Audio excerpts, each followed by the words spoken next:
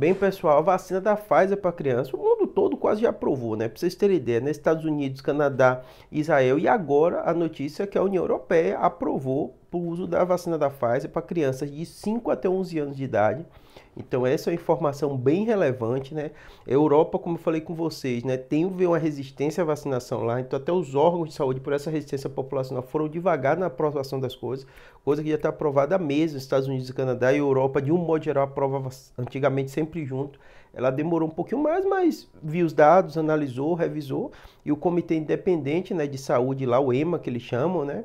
Seria como fosse FDA, Anvisa daqui, foi lá e disse que realmente é, você deve sim dar vacina para criança e lá já começaram a dar vacina, né, nos países da União Europeia.